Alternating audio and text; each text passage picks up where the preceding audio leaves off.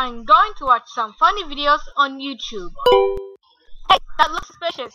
If they click yes, they get this operating system everybody hates. I'm not installing it. Huh? What is this? Boris OS? That's right.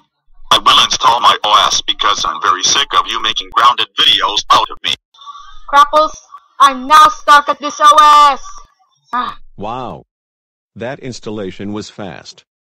It will restart now.